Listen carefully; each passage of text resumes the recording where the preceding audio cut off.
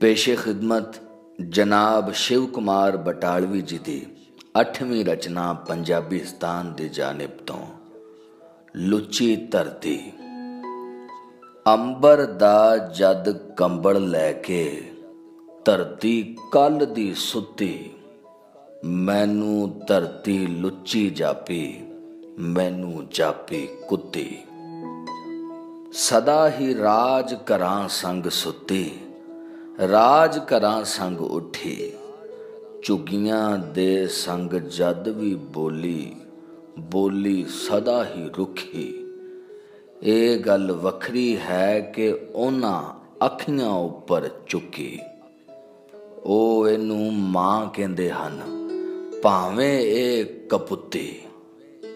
ਉਹਨਾਂ ਇਹਨੂੰ ਲਾਡ ਲੜਾਇਆ, ਪਰ ਇਹ ਰੁੱਸੀ ਰੁੱਸੀ ਕਈ ਵਾਰੀ ਇਹਦੀ ਇੱਜ਼ਤ ਰਲ ਕੇ ਸੌ ਸਿਕੰਦਰਾਂ ਲੁੱਟੀ। ਇਹਨੇ ਰਾਜ ਘਰਾਂ ਚੋਂ ਆ ਕੇ ਫਿਰ ਵੀ ਬਾਤ ਨਾ ਪੁੱਛੀ।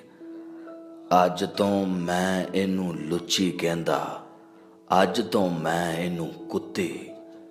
ਕੱਲ ਤੱਕ ਜਿਹੜੀ ਮਾਂ ਵਾਕਣ ਮੈਂ, ਅੱਖੀਆਂ ਤੇ ਸੀ ਚੁੱਕੀ। ਕੱਲ ਤੱਕ ਜਿਹੜੀ ਮਾਂ ਵਾਕਣ ਮੈਂ ਅੱਖੀਆਂ ਤੇ ਸੀ ਚੁੱਕੀ